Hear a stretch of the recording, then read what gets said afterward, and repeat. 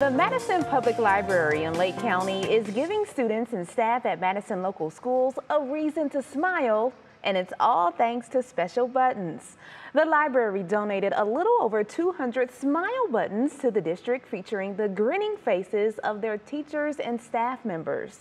The buttons allow children to see adults' full faces even though masks cover their smile, something library director Deanna Culbertson believes is important.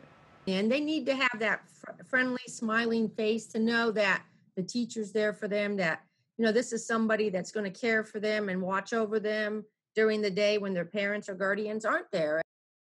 Culbertson says one of her staff members came up with the idea after reading about a hospital system doing something similar.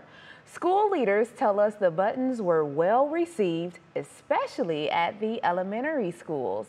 And Holly, I'm gonna tell you, if anyone, their school or teacher has gone the extra mile during the pandemic, we wanna hear about it. So everybody share your stories with us and photos right now on the WKYC Facebook page.